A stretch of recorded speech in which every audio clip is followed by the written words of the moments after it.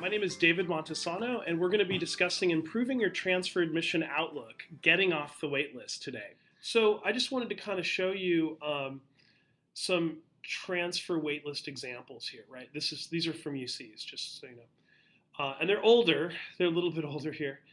Um, so UCSD had 2,756 students in their waitlist process and 27.8% accepted a position on the wait list. Okay, just to kind of give an idea. All right, and then here's interesting. UCSB had better stats because a little bit more thorough. So this is kind of getting into that yield, right?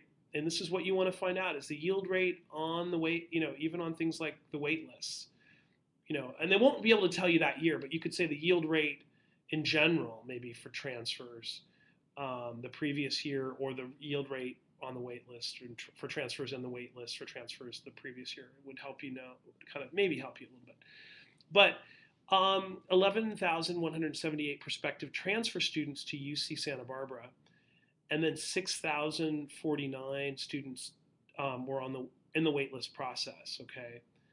And then um, it looks like 50 54 um, percent, 54.1 percent were um, were accept, accepted a, a, waitlist spot. Or yeah, I mean, so so basically, it's interesting um, that you can kind of see how many people accept it, right? Um, or sorry, sorry, no, maybe that. Sorry, this is the wrong thing. So 54.1 percent was were the people I think accepted from the waitlist. I'll have to verify that. Um, it looks a little bit high, but um, the UCSD number is interesting because, okay, so all these students were put on the wait list, but only 27% accepted a spot, right?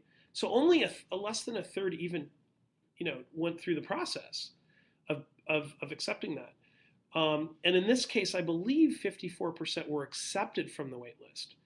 Okay, and there were 6,000 on that that were in that process. That's what it is. Yeah, 54%. So, you know, it just kind of shows you that if you if you're willing to wait it out to the last minute and you show interest and you let them know that it's your first choice and i would recommend letting letting them know saying to them look not only is it my first choice but if accepted i'll go you know because then it lowers their their risk for them. It helps them with their yield rate okay? So. Look like it.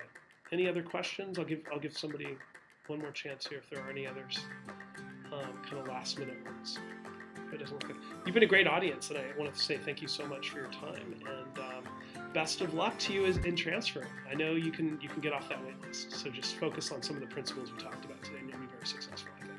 All right. Take care. Thanks.